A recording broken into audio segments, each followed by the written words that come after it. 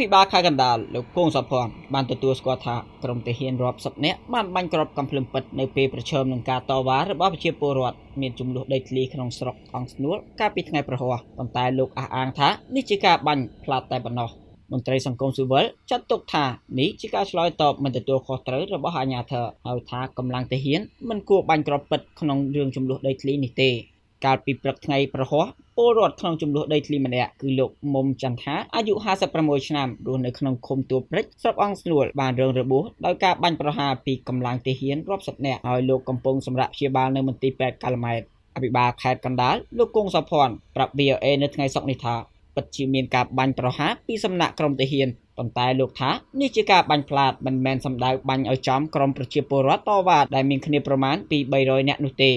បងប្អូនកងកម្លាំងយោធានោះគាត់ក៏មានបដាអាវុធបាញ់ឡើងលើអញ្ចឹងទៅខ្ញុំមើលនៅក្នុងសកម្មភាពផ្សព្វផ្សាយដូចគ្នាដែរទេពួកខេត្តអត់បានទៅចូលនៅក្នុងករណីនោះទេចូលរួមនៅក្នុងករណីនោះណាហើយក៏មានការប៉ះទង្គិចអញ្ចឹងមែនបាទផ្លាតទៅត្រូវអញ្ចឹងមែនអភិបាលខេត្តកណ្ដាលលោកគង់សុភ័ណ្ឌបន្ថែមថាករណីនេះកងកម្លាំងសមត្ថកិច្ចមានរបៀបក្នុងការធ្វើការដើម្បីការពារដីរដ្ឋប៉ុន្តែលោកថាទុកឲ្យស្ថាប័នតុលាការជាអ្នកដោះស្រាយបញ្ហានេះចោះ ករណីនេះខ្ញុំមិនខ្ញុំមិនទីទេគឺថាទុកឲ្យតឡាការស្ថាប័នតឡាការគេធ្វើការសោះប៉ុន្តែវាកម្រិតកម្រិតនេះគឺ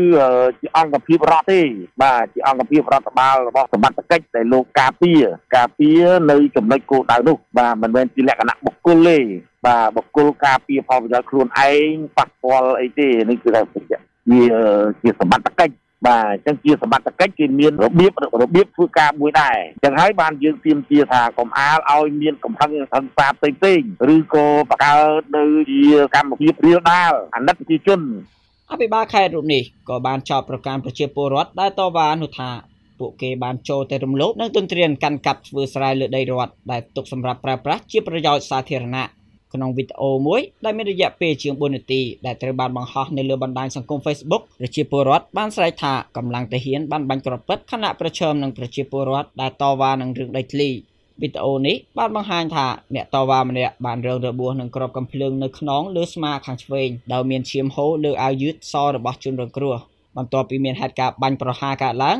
រដ្ឋបាលខេត្តកណ្ដាលបានចេញសេចក្តីជូនដំណឹងមួយកាលពីថ្ងៃប្រហ័សដោយលើកឡើងថា ដីដែលប្រជាពលរដ្ឋតវ៉ានោះជាដីរដ្ឋហើយថាពលរដ្ឋបានបិទផ្លូវជាតិលេខ51នៅចំណុចដែលគេហៅថាដីចំការបារាំងរដ្ឋបាលខេត្តបញ្ជាក់ថាដីនៅតំបន់នោះរដ្ឋាភិបាលក្រុងរៀបចំមួយផ្នែកសម្រាប់ប្រើប្រាស់ជាប្រយោជន៍វិស័យការពារជាតិនិងមួយផ្នែកទៀតប្រើប្រាស់សម្រាប់វិស័យបរិស្ថានដែលជាទីតាំងដាក់សម្រាមនិងសំណល់រឹងរដ្ឋបាលខេត្តកណ្ដាលឲ្យដឹងទៀតថា ក្រុមការងារគណៈកម្មការអន្តរក្រសួងកំពុងខិតខំសិក្សាស្រាវជ្រាវដើម្បីឈានដល់ការដោះស្រាយគោលនយោបាយជូនប្រជាពលរដ្ឋដែលបានអាស្រ័យផលពិតប្រាកដក្នុងរង្វង់ដីប្រមាណ280ហិកតាទោះជាយ៉ាងណារដ្ឋបាលខេត្តកណ្ដាលមិនបានបញ្ជាក់អំពីការបាញ់ប្រហារពីសំណាក់ក្រុមទាហានទៅលើប្រជាពលរដ្ឋនៅក្នុងសេចក្តីថ្លែងការណ៍នោះទេ លោកអំសំអាតនាយករងទទួលបន្ទុកកម្មវិធីឃ្លាំមើលនៃអង្គការសិទ្ធិមនុស្ស Liga do ជំរុញឲ្យស៊ើបអង្កេតរឿងនេះឲ្យបានត្រឹមត្រូវតើមូលហេតុអ្វីបានជាកម្លាំងទាហានរាប់សិបនាក់ប្រើកំភ្លើងបាញ់គ្រាប់ពិតរហូតដល់បណ្ដាលឲ្យពលរដ្ឋម្នាក់រងរបួសលោកក៏ជំរុញឲ្យបញ្ចប់ការប្រើប្រាស់ហិង្សាដូចជាបាញ់គ្រាប់ពិតទៅលើប្រជាពលរដ្ឋក្នុងរឿងចំនួនដីធ្លីលោកថ្លែងថា បញ្ហានេះវាជាដដែលដដែលដែលខ្ញុំតែងតែឃើញថានៅពេលដែលបង្ក្រាបបញ្ហាដីធ្លីទៅលើប្រជាពលរដ្ឋពីកងកម្លាំងនៅពេលដែលបាញ់បង្កឲ្យពលរដ្ឋរងរបួសឬក៏ស្លាប់មិនដែលឃើញអ្នកដែលប្រព្រឹត្តនឹងត្រូវបានយកទៅអនុវត្តតាមផ្លូវច្បាប់ទេនេះគឺជានិទានភាពគឺជាវប្បធម៌និទានភាពមួយដែលអាក្រក់ហើយចេះតែបន្តជាបន្តបន្ទាប់ ដោយសារតែវប្បធម៌អាក្រក់នេះអញ្ចឹងនឹងត្រូវតែមានការស៊ើបអង្កេតឲ្យបានដលាភាពហើយនឹងយុត្តិធម៌ហើយស្វែងរកយុត្តិធម៌សម្រាប់ជនរងគ្រោះដែលរងគ្រោះដោយសារក្រក់ភ្លើងនឹងបាក់យើងមិនអាចឆ្លើយថានេះជាអបតហេតុគ្មានចេតនាគ្មានអីហើយគិតពីការទទួលខុសត្រូវចំពោះមុខច្បាប់អាហ្នឹងឯងដែលខ្ញុំនិយាយថាវាជាវប្បធម៌និកន្តភាពបាទ អ្នកស្រីយ៉ានសុកខេមអាយុ49ឆ្នាំជាពលរដ្ឋម្នាក់ដែលបានអាស្រ័យផលធ្វើស្រែលើដីដែលមានចំនួននោះបានឲ្យដឹងថាអ្នកស្រីបានធ្វើស្រែលើដីនេះយូរមកហើយតាំងពីឆ្នាំ1979អ្នកស្រីបន្ថែមថាអាជ្ញាធរមិនដែលបានផ្ដល់ដំណឹងណាមួយដល់ប្រជាពលរដ្ឋថារដ្ឋនឹងដកហូតដីធ្វើជាតំបន់អ្វីនោះទេអ្នកស្រីបញ្ជាក់ថារយៈពេល1ឆ្នាំមកនេះឃើញមានកងកម្លាំងយោធាមកយាមប្រចាំការនៅតំបន់នេះប៉ុន្តែនៅពេលប្រជាពលរដ្ឋសាកសួរគឺគេប្រាប់ថាមើលការពារដីព្រៃតែប៉ុណ្ណោះ មុនដំបូងហ្នឹងថាមកការពារដែលព្រៃអាដីព្រៃទួលលើលើតិចតិចហ្នឹងអាគេចែកឲ្យតាហ៊ានដល់ដល់ចែកឲ្យតាហ៊ានអី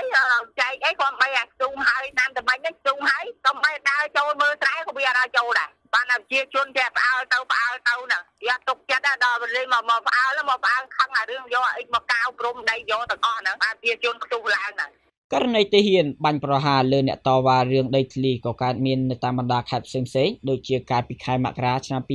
2019មានករណីបាញ់គ្រាប់ពិតលើប្រជាពលរដ្ឋដែលតវ៉ារឿងដីធ្លីនៅព្រៃនប់ខេត្តព្រះសីហនុបណ្ដាលឲ្យម្នាក់រងរបួសចំណែកកាលពីខែមិនិនាឆ្នាំ2018កងកម្លាំងចម្រុះរួមមាននគរបាលទាហាននិងកងរាជអាវុធហត្ថក៏បានចុះបង្ក្រាបការតវ៉ារឿងដីធ្លីមួយក្នុងខេត្តក្រចេះដោយបានបាញ់គ្រាប់ពិតបណ្ដាលឲ្យពលរដ្ឋយ៉ាងតិច3នាក់រងរបួស តាក់ទងនឹងការបង្ក្រាបពីសំណាក់កម្លាំងទាហាននេះកាលពីខែកុម្ភៈឆ្នាំ